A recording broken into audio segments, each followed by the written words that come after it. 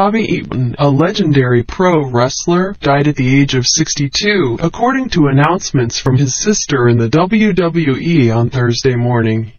The cause of death has not yet been released, but Eaton was hospitalized in late July after suffering an injured hip and multiple broken fingers from a fall, according to reports.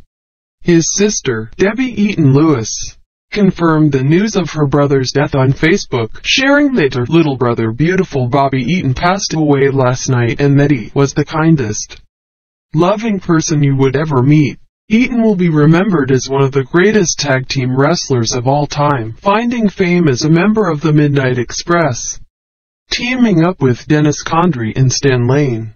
The Midnight Express was inducted into the Wrestling Observer Newsletter Hall of Fame in 2009, and in 2019, Eaton was inducted into the Professional Wrestling Hall of Fame. Eaton's career spanned four decades, during which he won nine tag team titles in the NWA and WCW. Several professional wrestlers shared their condolences on social media, including Ric Flair, Dax Harwood and Arn Anderson.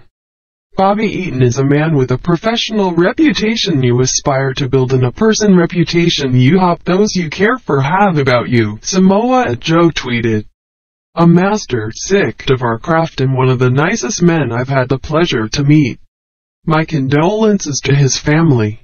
My gratitude for the memories. Eaton's death comes just over a month after his wife Donna Dundee died at 57. Dundee, daughter of pro wrestler Bill Dundee, and Eaton have three children together. Their son, Dylan, carries on the family legacy as a professional wrestler.